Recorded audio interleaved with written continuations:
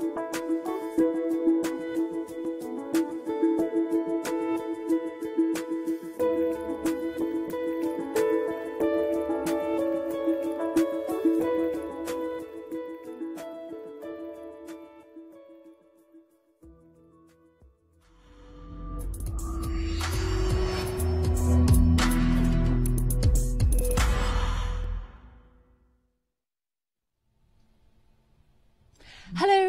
welcome to another episode of NASA Science Live, an opportunity for you to interact with NASA scientists and have your questions answered in real time. I'm your host, Joy Ng, and tonight we are live at NASA's Goddard Space Flight Center as the total lunar eclipse is nearing totality. So it's a little bit overcast here right now, but luckily we're going to be taking you to different locations with clear skies throughout the show. So if you have any questions at all about the total lunar eclipse or why NASA is heading back to the moon, send your questions in using the hashtag AskNASA or wherever you're watching this show today. And as you can see, we will have a constant live feed of the lunar eclipse. So thank you so much to our friends at Time and Date for providing that feed. So as you can see, um, there's a lot of excitement in the air and we have a lot in store for you as we track the lunar eclipse from North and South America and parts of Europe as well. We have NASA scientists answering your questions and we also have feeds of telescopes dotted all around the world that are fixated on tonight's celestial event. And there's a chance that you too can see the lunar eclipse as well. So if you do, snap a photo and share it with us on social media or wherever you're watching tonight's episode. Um, so uh, there's yeah, uh, there's a lot to talk about, and we have a lot of questions coming in online. But first, let's go over to my co-host James Tralie, who can tell us where we are in the eclipse right now and what's in store for us in tonight's total lunar eclipse. Hey James, how's Hey, it going Joy. over there? Good. There are some extreme microclimates out there, but unfortunately, just a couple feet away from you on the other side of the building, it's also overcast and rainy. So, not holding out, you know, for a, a good view from here at least, but we're tracking it all across the world. The view behind me right here is from Cartersville, Georgia, where there's a little bit of cloud cover, but we've got a really nice view coming into focus. Tracking this from around the world as well. We got some feeds from Morocco, uh, all over Spain, and, and it's just going to be a phenomenal show to view from there. Uh, so, is this your first ever eclipse? Um, well, the last lunar eclipse I saw was in 2019 in uh, Mexico City, actually, and it was an amazing experience. What about yourself? It's been, I think, at least a decade for me. It's been a really long time, and I guess I'm going to have to keep waiting as well, but live vicariously through the amazing feeds that we've got out here as well. So, how many feeds do we have tonight?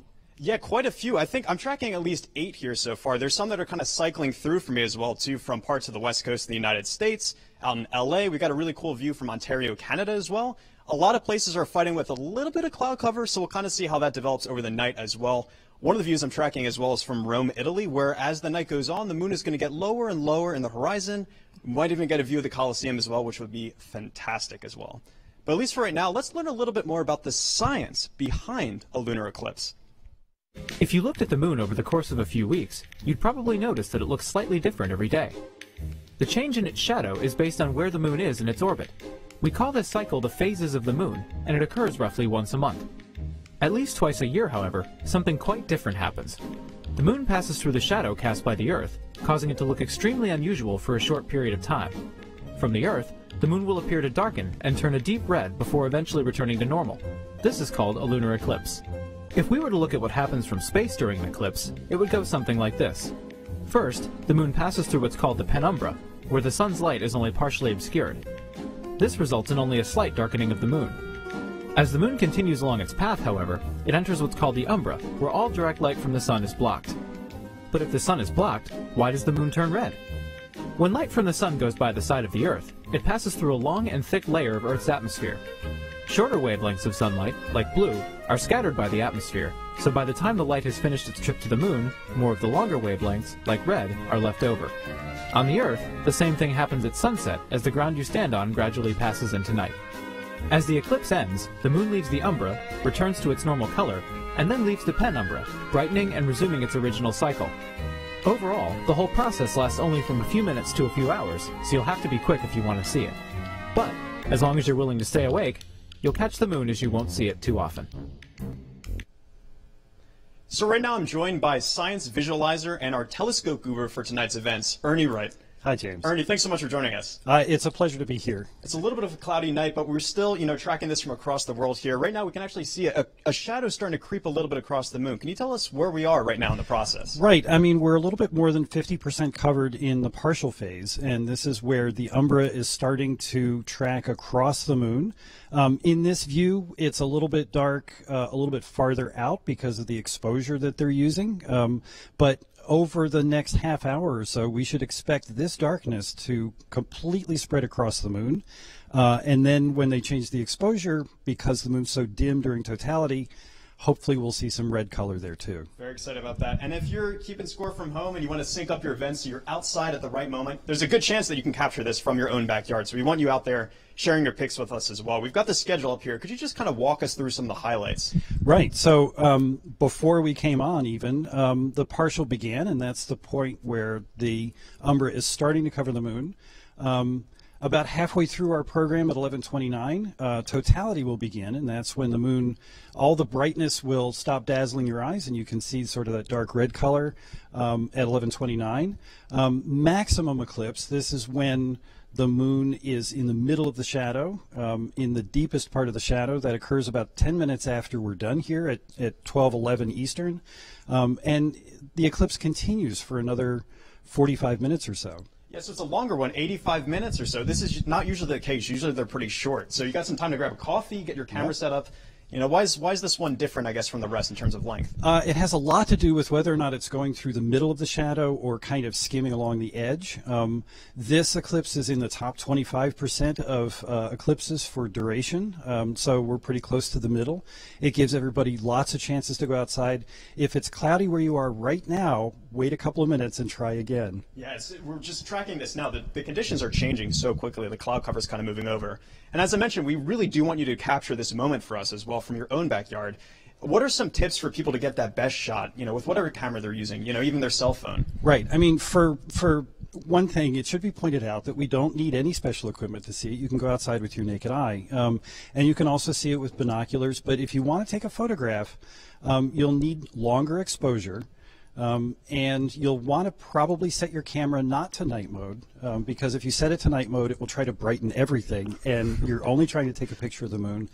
If you're able to zoom, um, you should do that. The moon is surprisingly small in these pictures, so if you just take a regular photograph, you'll get three pixels of moon and lots of dark sky. So right now you have your telescope with us, which is getting a great shot of the studio lights. But you know, right. what is it actually? What would it be doing out in the field if you were actually having out there? Right, and I brought this in um, so that if we had clear skies, we could actually um, get a feed from here. Um, but this is just a three-inch refractor. There are two basic kinds of telescope. Um, a refractor has a big lens for gathering light, and a reflector has a big mirror. Um, and then I've attached to the telescope um, just a regular DSLR. Uh, and there's a special bit um, that mates them together. But this allows the camera to look through the telescope as if the telescope were a big telephoto lens. Um, and what we were planning to do, if we had clear skies, was use the live view mode on the camera. Uh, and the camera has HDMI out. And so if you had a crowd uh, and you didn't want to line them all up and look through it individually, you could put a TV right next to the telescope and, and everybody could see it simultaneously, just like we're looking at it here. Yeah, and stuff is really starting to move a little bit more here. Now, even since we started talking, it seems like there's a little bit more coverage as well, too. Yeah, um, and in fact, as time goes on, uh, from minute to minute, you should be able to see some changes in that shadow. It's going to move very quickly, um, particularly when we get close to 1129. Um, you know, the last little bit of bright moon will be there, and as you're watching it, you can see it being covered up, which is pretty cool. When can we expect some of the kind of reddish color to start creeping in here as well? Um, almost before totality starts, uh, what you really need to do is kind of get rid of all that very bright moon because that's sort of dazzling your eye. Um, this is thousands of times dimmer, but once you get into totality, um, your eye will adjust. Um, you know, your eye has this sort of automatic exposure control, and you'll be able to see that red color. Amazing. And when is the next one as well? Next lunar eclipse year from November. So anybody who's missing out, um, you know, uh, six months from now, we'll have another one uh, to look forward to. plenty of time for this one tonight still too. Like we said, 85 minutes for you to be able to view this one. So a really good window for you to get, you know, a nice coffee. It's a little bit late here. Maybe bundle up a little bit if it's cold where you are. Um, but in the meantime, I understand that Joy has some members of the Artemis program with her to talk a bit more about our next mission to the moon. Hi, yes. So Earth's moon is the only place beyond Earth that humans have set foot on. And with NASA's Artemis program, we're planning to take the first woman and first person of color back to the lunar surface. So to tell us more about that, I'm joined by two, with two NASA experts, uh, Dr. Ryan Watkins, who is a program scientist at NASA headquarters, and Dr. Vishnu Viswanathan, who is a research scientist at NASA Goddard. Thank you both so much for joining us today. Thanks for having us. Yeah, thanks. So, can you tell us a little bit about your roles and what you do at NASA? Yeah, I'll just start off by saying it's a very exciting time to be a lunar scientist at NASA. So at headquarters, um, in my office, we manage the Lunar Discovery and Exploration Program. And so under this program falls um, the various programs that are sending scientific and tech, uh, technology development instruments to the moon via commercial partners, as well as on various international missions. We also do all the integration of Artemis science within NASA's um, directorates. Uh, and yeah, so for my role specifically, um, one of the things I do is just make sure that our scientific instruments can meet their science objectives and have everything they need to do that. Um, it's one of many, many things we do, but yeah, so getting science instruments to the moon and Artemis is a large part of what we do.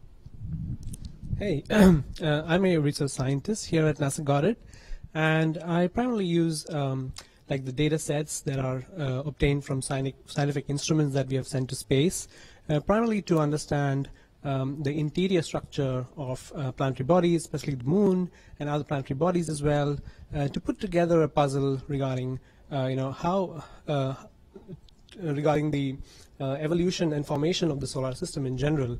you know, I, I asked several questions like, like you know, how is the moon, like was the moon always uh, how it is as we see it in the sky today, or was it oriented in a different manner compared to you know several billion years ago, or you know uh, like you know does it have a solid inner core within it like like we know for the Earth, and um, so I uh, I'm facilitated by several data sets that we've collected.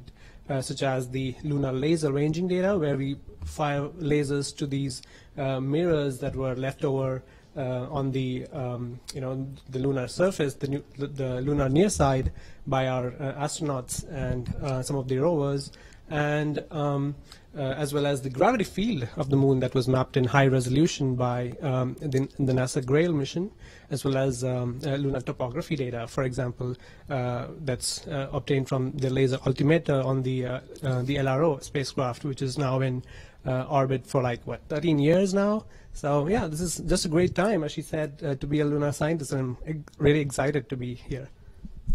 So can we talk a bit about what NASA's plans are for back for going back to the moon? So we're taking science instruments, a rover, and then humans. Yeah, so we're actually doing a lot to get ready to go back to the moon right now. Um, like you said, one of the first things we're doing, um, besides LRO, is is sending scientific instruments as well as um, technology demonstrations to the moon uh, via the Commercial Lunar Payload Services Program, or CLPS for short.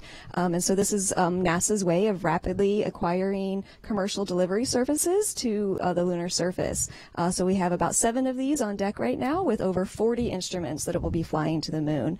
Um, and as part of this is the rover you mentioned, Viper. So Viper will be um, roving around looking for volatiles, uh, specifically things such as water ice, in permanently shadowed regions on the moon. So these are areas that either neither or never get sunlight or rarely get any sunlight. So good places for water ice to, to be contained. So it will be prospecting for, for these areas, you know, how much is there, what, what type of um, deposits do we see, and then how could we possibly use that um, for, for future human missions to the moon. Yes, and then culminating with Artemis, sending our, our first woman and first person of color back to the surface of the moon.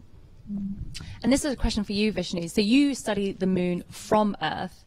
Um, is studying uh, the moon from Earth during a lunar eclipse particularly exciting for your type of research? Oh yes, uh, absolutely. Um, so for example, right now, like during the full moon phase, right, uh, the surface of the moon is really hot. It gets heated up. Uh, something like 250 degrees Fahrenheit or you know, comparatively like uh, or 120 degrees Celsius. So uh, these mirrors that I was talking about on the moon, uh, these are not optimal temperatures for you know the moon to operate in. And so we, so the performance of these, the optical performance of these uh, retroreflectors, as they're called, um, they they diminished with time, right? So we want this kind of a window. This um, eclipse offers us this time window wherein you know the moon passes th- through the shadow of the Earth, so which gives you know these optical instruments to kind of cool down and this enables us to make measurements, right? And so what science we can do from that is that, you know, when when when um, this particular configuration that we are in right now, which is you know the sun, Earth, and the moon, um, this enables us to make very high precision tests of um, you know uh, the universality of free fall. Uh, so um, uh, during the Apollo 15, I believe um, the commander uh, David Scott he he dropped um, a feather and a hammer at the same time to demonstrate that uh, uh, to show that you know all objects fall in the external gravitational field at the same time.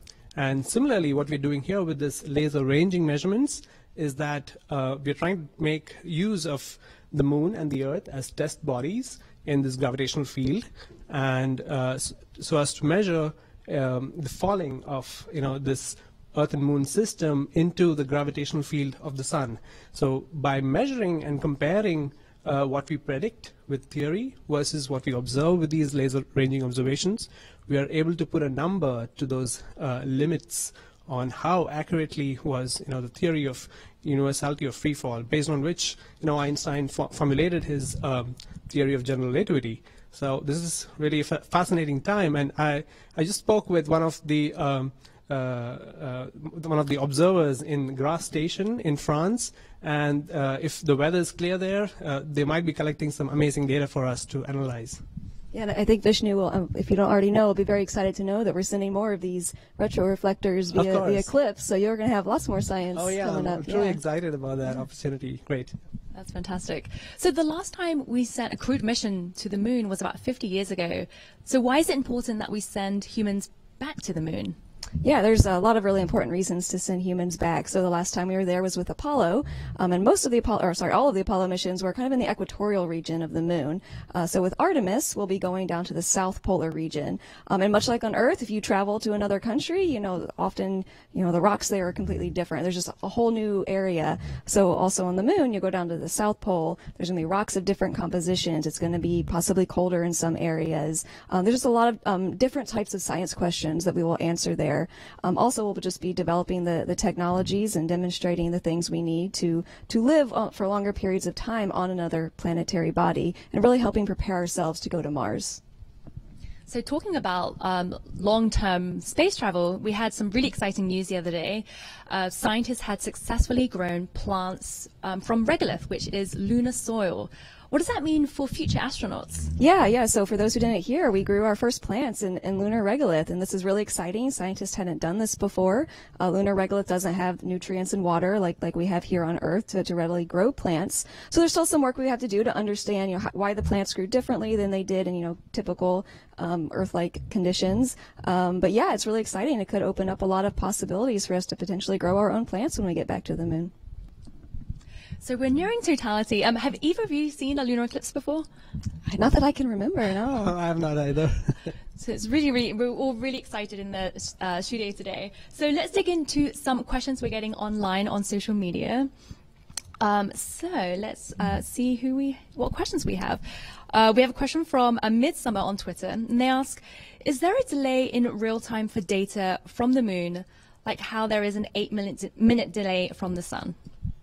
Um, yes, and um, so this is precisely the time that we measure with the laser data, right? So it takes 2.5-ish seconds uh, for a light beam to go from Earth, bounce back the, um, you know, these mirrors and come back uh, to those telescopes. So which means that, you know, one way would be like half of that value, 1.25 um, seconds.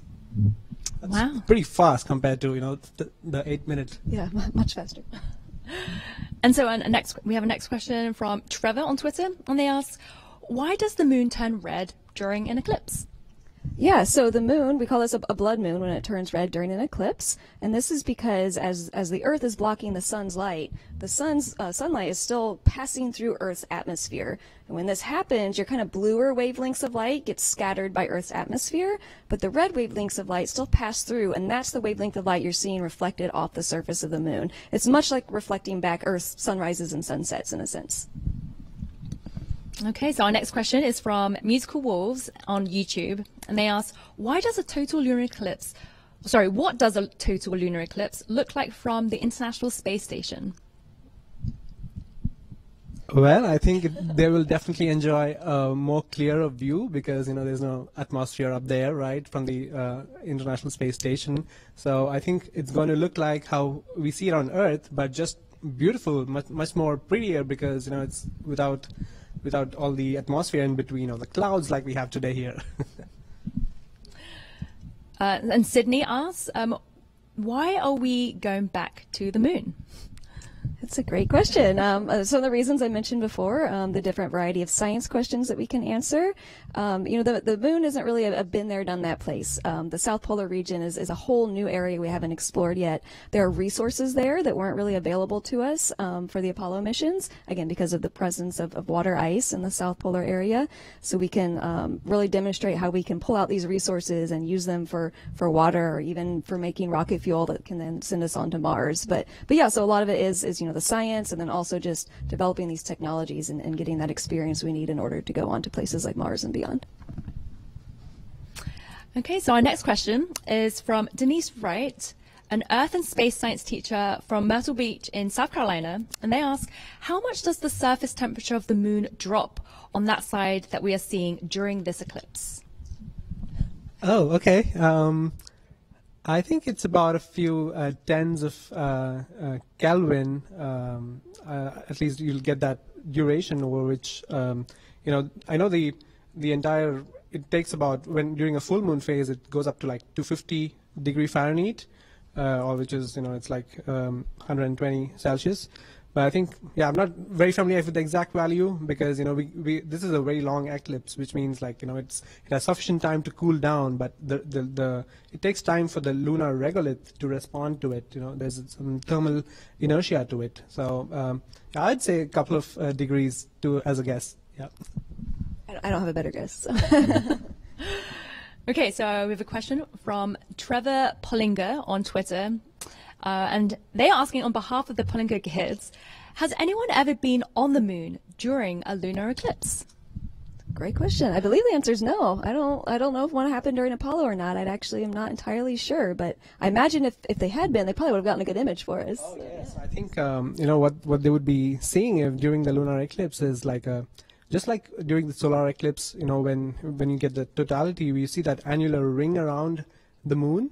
Similarly, you can expect, you know, when we, uh, during a lunar eclipse, if you were to be on the surface of the moon, looking at the Earth, it would be such a fantastic view because you'll see, uh, you know, not that horizon sunset that we, we see on Earth, but, you know, it'd be like a ring of sunset, uh, right, around around the around the Earth with, you know, the sun in the background. I think it's a spectacular view. I'd, you know, I'd, I'd love to be there in that place to see that view. Yeah. So there would be so there would be like a red ring around Earth. Is that what you mean? Yes, I think so. Yeah, this is that's how it would look like. I, I believe um, Ernie Ernie Wright, uh, you know, at um, at Goddard would, you know, I'm sure he has made a simulation on this uh, that shows that particular video. You know, check that out. Okay, so um, we have a question from Yong Yong Mei Mei. Um, when we go back to the moon, will we set it up as a permanent settlement? Yeah, so so we are looking at, at establishing a lunar base on the moon. You know, having more you know permanent or semi-permanent architecture uh, that we can um, then go to at a more frequent basis. You know, send more you know crews on a regular basis to habitats and, and have long duration rovers and things like that. So yes, it's definitely something that NASA is working towards. Oh, fantastic. Okay, so our next question is from Arnab on Twitter, and they ask, "Is a lunar mission launch possible during a lunar eclipse?"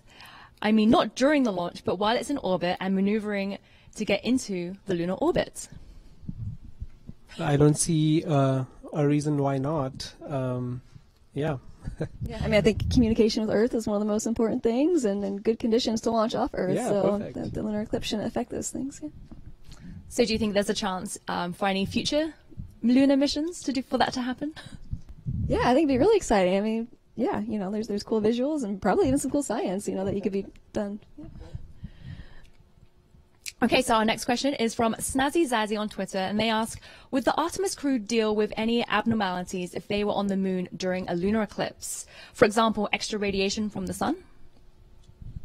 Um, I think one of the difficulties that they would potentially face is, you know, the lack of light, right? Because you know uh, you have a good amount of sunlight coming in um, if they were to be in the you know near side, and suddenly it would be like a you know a, a diminished light or much dimmer light than you know they are enjoying to, and I, I just hope they're not in one of those permanently shadowed regions when well you know when they're doing that. So, but I think I think that's that's, that's about it. Yeah, and I think one thing one thing to remember too is that generally these eclipses are not very long. You know, the one tonight is, is quite a bit longer than, than what we typically see, but usually they're on the order of a few minutes. So you know, even again, yeah, light the lack of light could be probably the biggest issue to be concerned with.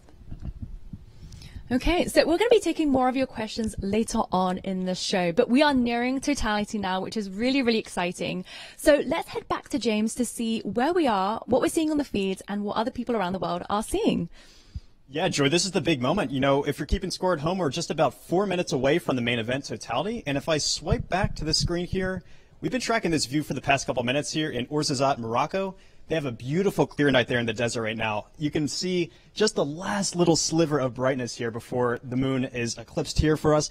And we're starting to get some really interesting reddish color creeping across. And just before we went on, you were telling me something interesting about the times that we were displaying there. There's, you know, they're not down to the exact second. You know, we have them at like 1129. Why is the, that, you know, not precise for us? Right. You would think that we know the geometry of the shadow and we can just figure that out, but it turns out that the width of the shadow at the moon um, is affected by the atmosphere. And of course, the atmosphere on Earth is constantly changing. Um, it enlarges the shadow by about 1 to 2%, but for each eclipse, it's a little bit different. Uh, so when we do the calculations, we use an average value, but um, we don't know precisely what that number is going to be until it actually happens. And this is actually something that um, citizen scientists can help with. Um, while the uh, shadow is moving across, you can time when that edge hits each crater, and you can do that um, at the end of totality as well. Um, and this sort of pins down the size of that shadow. Um, and uh, so, I, I, mean, I think it's probably surprising to people that we we're not certain to the millisecond when Yeah, these things are exactly. going to happen.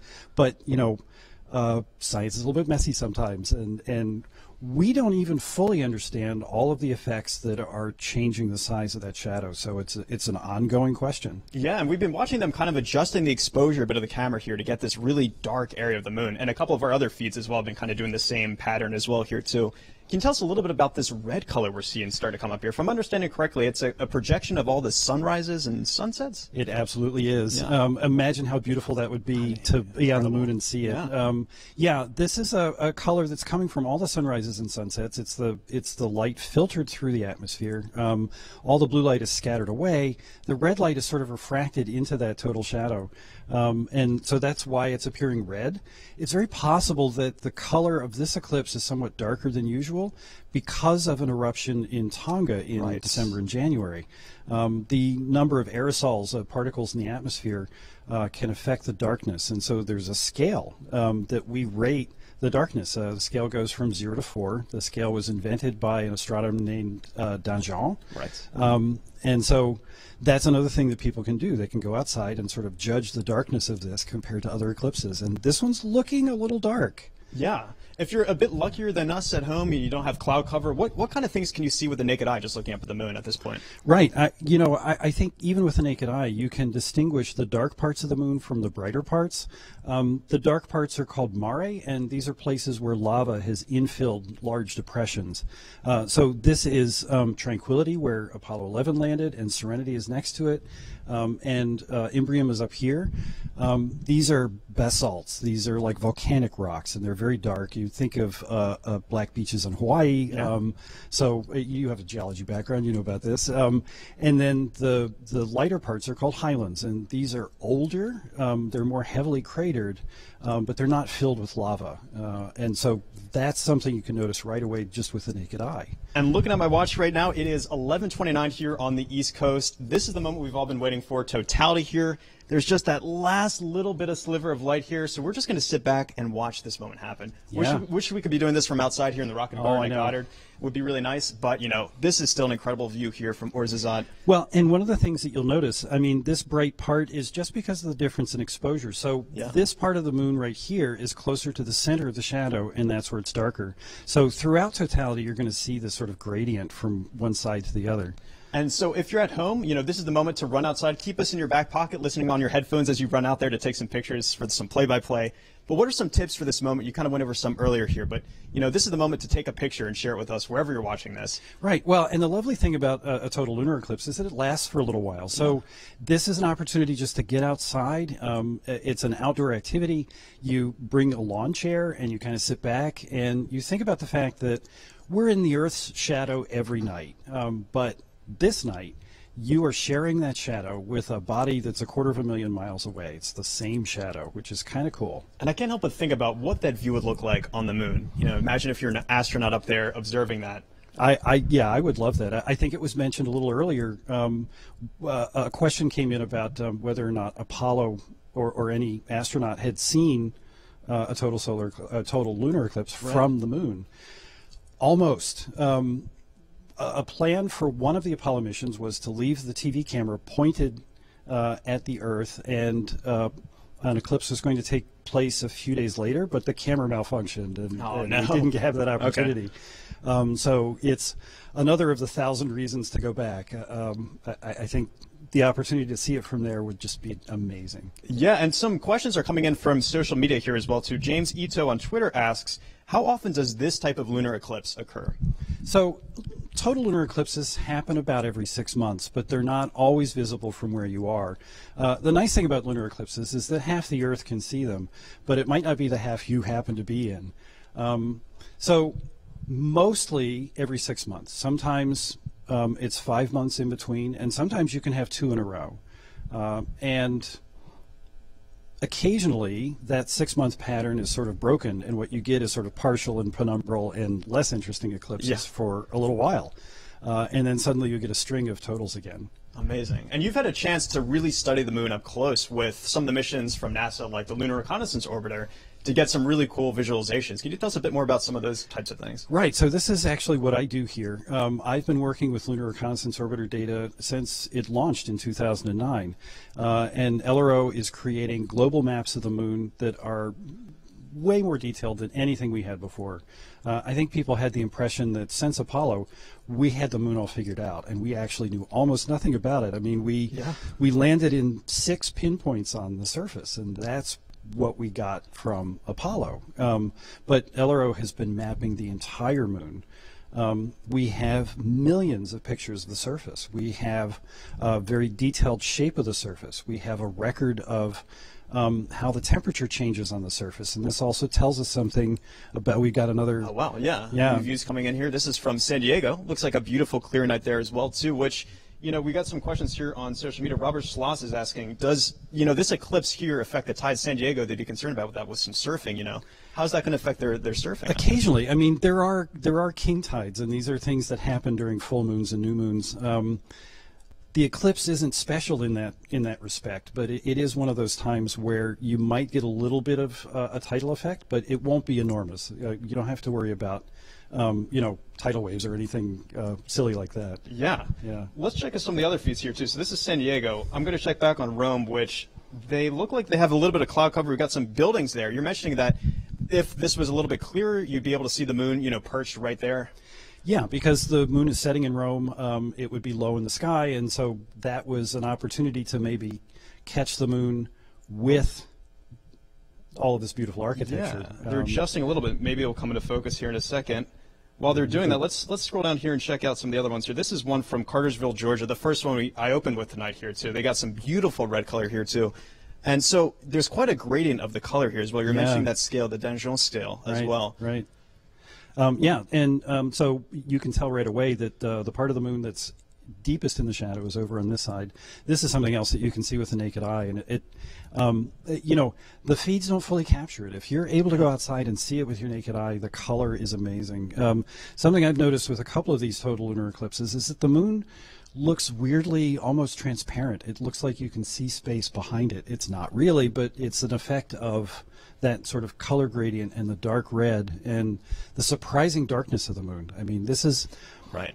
way darker than a normal full moon. Um, so it just looks weird, and Yeah. that's one of the things that's fun about it. that you can go Exactly. and Yeah, it. it's different every time. And we were like we were saying, we were noticing the settings of people's cameras kind of changing here to capture that darkness. It was really stark. I mean, there's parts that were just Yeah. completely blown out just to really capture, you know, the darkness Right, of the right. moon. And so let's check back on that Rome and see if they've kind of pulled this up again. Still looks a little bit cloudy here, but we're back to the Morocco one here, which this has been kind of the, the winner of the night for me. I've, I've really Yeah, loved this it- view that it they really have. has been. really beautiful weather. Yep. Um, Tycho is very visible right here. Yeah. Um, this is a crater. This is a young crater um, in the southern hemisphere of the moon, and you can see the rays in full moon. But during a total eclipse, they look even more spectacular. I think.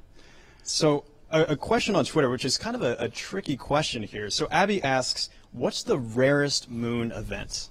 That's the kind of thing that you want to go back in the almanac and sort Yeah. of check through it. Um, but a kind of unusual thing happened just six months ago. The November eclipse was a 99% partial. Oh, wow, It was so close. Yeah, Um, just edging it there. just getting over to the edge. So it, it would have looked like this, but with a bright sort of limb there, and it never quite made it into the shadow. That's pretty unusual.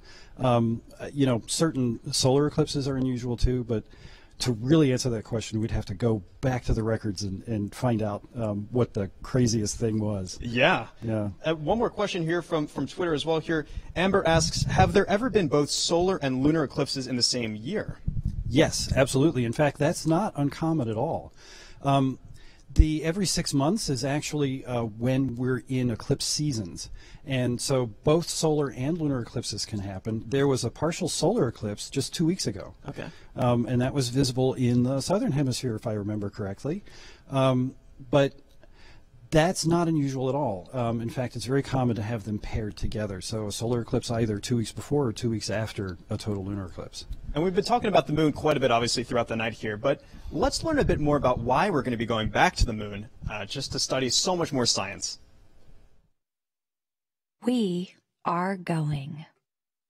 The history of this agency is marked with broken barriers, once viewed as impossible, with science fiction turned reality, with innovations that have spun industries all their own, and with demonstrations of peace for all humankind.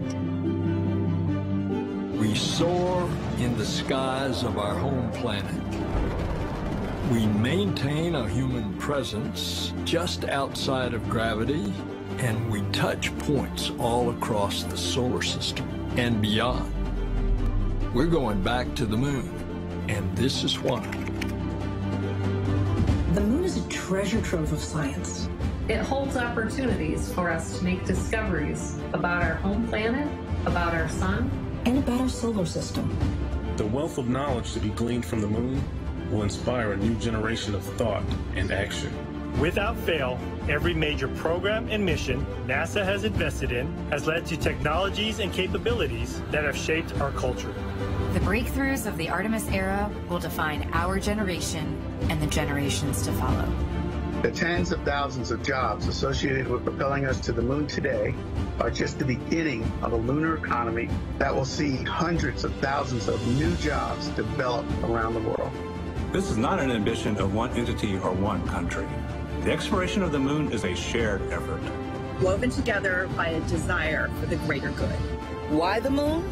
Because the missions of tomorrow will be sparked by the accomplishments of the Artemis generation today. because the ambition to go has already begun. And because Mars is calling. We need to learn what it takes to establish a community on another cosmic shore. So let's camp close before pushing out. And so, we go to the moon now not as a series of isolated missions, but to build a community on and around the moon capable of proving how to live on other worlds.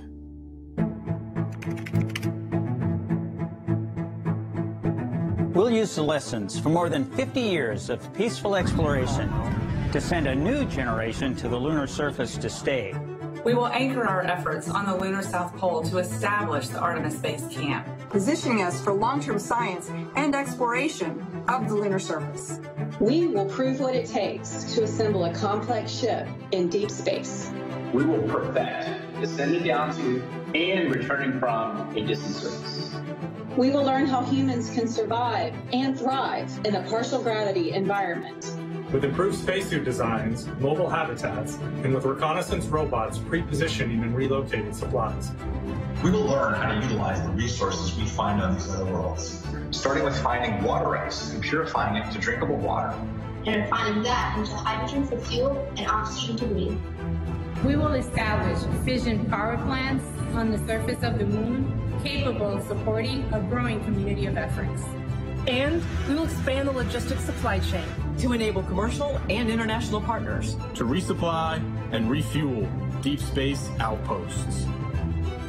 None of this is simple or easy, but nothing in our history ever has been. The Eagle has landed.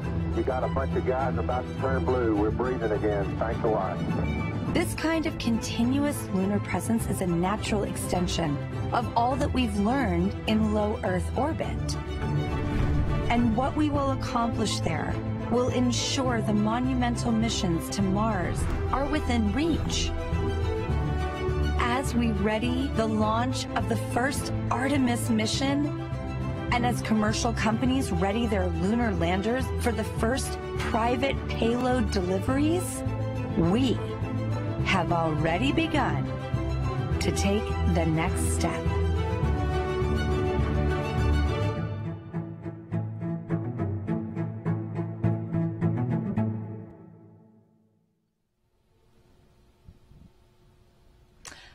So we just had a look at all the feeds and the total lunar eclipse looks absolutely stunning. What did you guys think? It was amazing. Yeah, was oh, I think when I first saw Morocco, the, the feeds coming in from Morocco, uh, I was like, okay, this is the winner for today. But you just showed me an, another image from Rome, and that just changed my mind. And that's like really a reddish, nice hue across the entire moon, and such beautiful images. Yeah, so we have a lot of questions online, so let's dig in. Um, let's see. So we have a viewer who asks, what kind of new and better equipment do you need to have to return to the moon, and when will astronauts arrive on it? Yeah, there's um, a lot of different and new equipment or improved equipment um, that we're looking at for the moon. Um, one of which I think I've mentioned a few times is that we're looking at using the resources that are on the moon. We haven't done this before, so all sorts of new technologies, whether it's drills or just systems that can extract oxygen and water and, and things from the from the lunar regolith. These are all new systems. Uh, we're improving things like our precision landing. You know, how accurately can you land where you want to land, um, and how um, how well can you avoid obstacles like craters and boulders and things. Um, so those are some things related to landing. But yeah, different sampling techniques for the astronauts, um, all sorts of new technologies, um, which is really exciting because these will be useful for Mars and, and also for our, our lives on Earth. Um, as far as when they're getting there, um, NASA's targeting 2025 for our first crewed mission. And so you mentioned uh, it will be useful for us on Earth. Um, could you tell us more? Yeah, um, I mean, I don't have a lot of specific examples off the top of my head, but um, you know, for the Apollo program, for example, we call them spin-offs. There are all these technologies that, that NASA developed for the, the lunar program uh, that then became useful on Earth. I think tennis shoes are a good example of one. Um, I don't know if you have any other examples you can think of off the really top of your head. Think of uh, something right now, but yeah, I think so. Um, I think the, the thermal blankets that were used for the entire during the Apollo uh, space program and the space race are being heavily used on Earth for a variety of purposes. Um, and uh, even these re- retro reflectors. I'm sorry, I keep going back to those retro reflectors. That's what I do for work. Um, so I, uh, you know, when I explain it to some like a ch- child, what, what do I do? I, I, I, I make them look at you know all these uh, you know on the road as you travel uh, when you shine your headlight at them it, it comes back right at you. And uh, those those are miniature versions of the same thing but just that they're not space grade right? They're not ready to go to space. But yeah there's there's a whole lot of um, you know equipments which were developed during the space race uh, and uh, you know the Apollo era which uh, is being used right now on, on, on Earth for to make our lives better. Fantastic. So we have a question from Charlie Kausch from YouTube, and they ask, can you tell us the difference between a solar and lunar eclipse? Of course. Um, so during a lunar eclipse, what comes between, uh, you know, the uh, the sun and the moon is is the Earth. So you know, doing that's what we're witnessing today. And similarly for the solar eclipse, what we have in between, the object in between, is the moon. Um, and it's not safe to look at um, you know by eye uh, the the solar eclipse but you know it's very safe to look at the moon. So I encourage you all to go out and look at the moon if you get a chance to. Yeah. And and what are the differences when you when you look in the sky? Because they look pretty they look pretty different. Right. You, in in one of them, you know, you have the sun in the background, so mm-hmm. it could be a you know during the daylight, right? And then suddenly it goes all dim here on on Earth when this is the solar eclipse and um, um, lunar eclipse, you know, they usually, I mean, to have a lunar eclipse, you need a full moon, uh, right, uh, to get that configuration for the eclipse. And so these are typically visible at night. So that's one of the differences I can think of. Okay, so we have a question from Jack, and he asks, how much do we know about the far side of the moon? Mapping, geography, etc., has a satellite sustained a durable orbit around the moon in order to map the surface? And has that ever been done? Uh, yes, great question. Uh, so yes, um, Apollo, obviously, the, those were all near side um, missions, uh, but we do know a lot about the far side as well. We have the Lunar Reconnaissance Orbiter (LRO) has been orbiting the moon for almost 13 years now, um, and yeah, doing a lot of the mapping that was that was asked about, mapping topography. We had Grail that mapped the gravity data of the moon. Um, so we don't have, you know, we haven't had any surface missions from the U.S. to the far side of the moon. We haven't returned those samples, but we have a lot of really great orbital instruments that tell us things about about the composition composition and the, again the topography. We know that there's not as many um, uh, volcanic areas on the far side of the moon. We know the crust is thicker. Uh, I think the composition's a bit different, but we don't really know why. Uh, so there's a lot of good reasons to go go explore the far side as well. Okay, and so Kelsey on Twitter asks, my eight-year-old Nico is asking, when is the Artemis mission going to the moon? Great question, Nico. Yeah, so it depends on which Artemis mission you're talking about. We'll have our, our uncrewed demo um, this year, uh, and then our, our first astronauts will hopefully be on the surface in 2025. Okay, so our next question is from Tiffany on Twitter, and they ask, "What is the moon's core made of?" Oh, so um, you know. Um, the moon's core, so if you, it depends on how deep you're going, right? So we know from, uh, initially from, again, lunar laser ranging data, uh, by looking at its orientation in space, we kind of figured out uh, by, you know, monitoring these retroreflectors, we have about five of them. We've been monitoring them very closely over a long period of time, and we were able to you know, uh, reconstruct the orientation of the moon, predict it, and compare with observations. So when you stick in a, a liquid core in that model, it it very well agrees with the data set, and this is one of the um, you know findings from lunar initially from the lunar laser ranging data, but it was also later confirmed by you know reanalysis of uh, seismic data that was collected from uh, the Apollo mission. Um, so indeed, it's made out of uh, a liquid core, but there is um, uh, an expectation that there could potentially be also a solid inner core within that liquid core, just like for the Earth. Uh, and this is currently, you know, uh, uh, in research, and we still don't have a very strong evidence um, uh, suggesting that the moon has a, a, solid core, but some of the uh, samples that were returned from you know the moon during the Apollo missions, um, they had remnant magnetism in them, and uh, you know those are signs that at, at, some point in time the moon had you know an, an active um, magnetic field, and so that potentially magnetized these rocks that were returned. But currently, we know that there's no magnetization.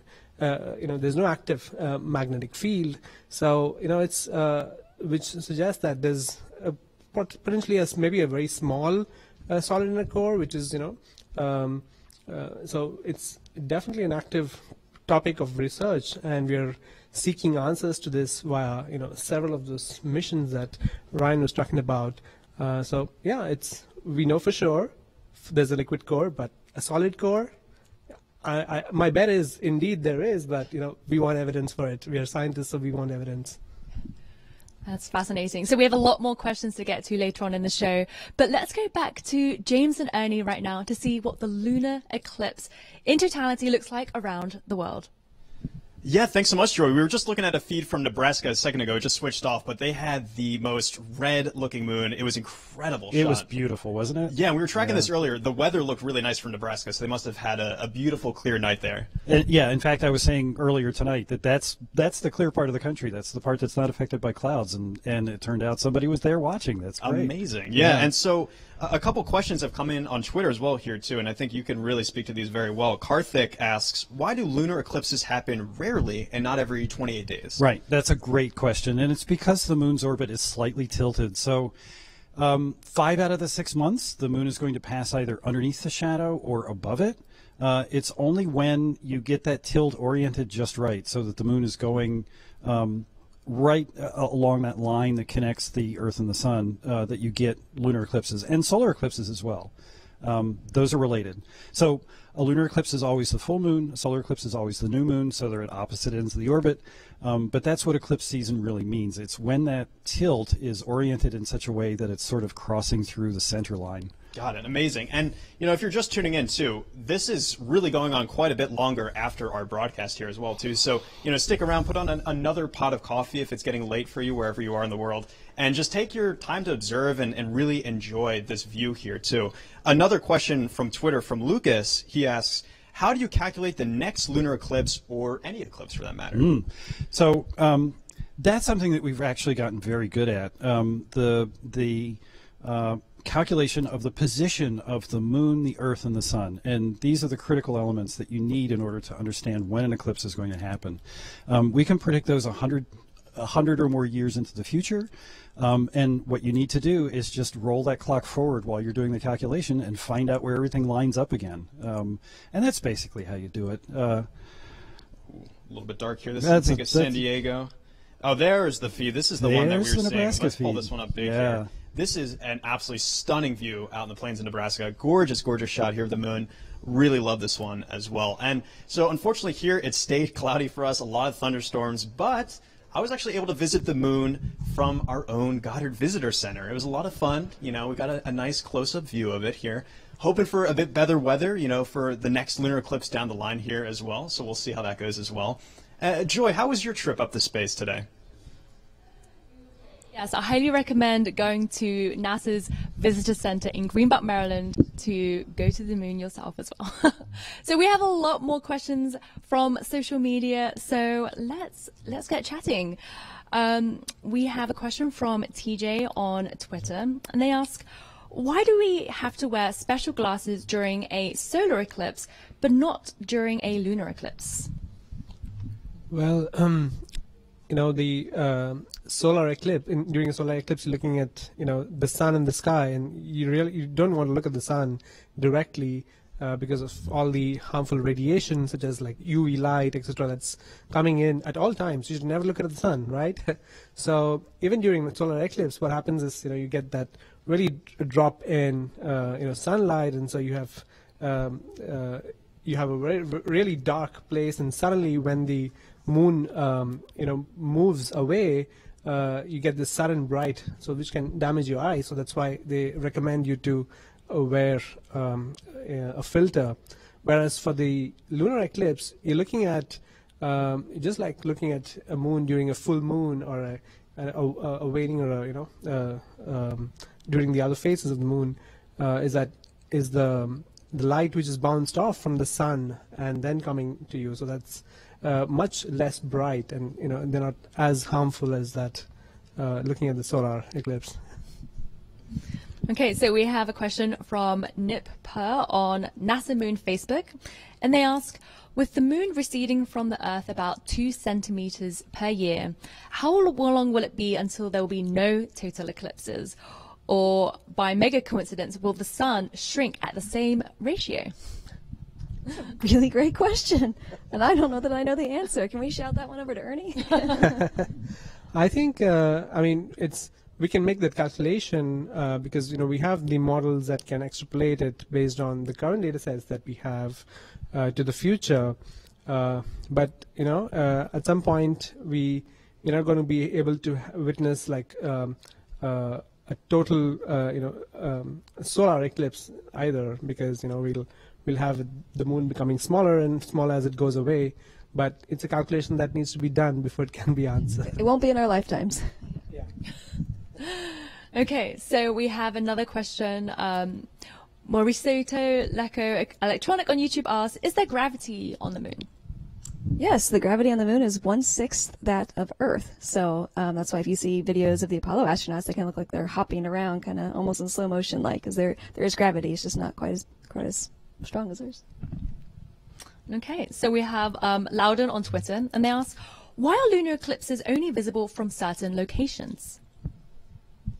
Oh, I think uh, um, so. It, the, it, to be in that shadowed region, right? So um, the the moon's orbit is slightly inclined. So what happens is there are only specific points in the orbit where you can have that shadow. So as long as uh, you know you, you, the moon is visible in the sky when the moon is passing through that uh, you know shadow of the Earth, you'll be able to vis- uh, be able to see that, uh, and that's probably why.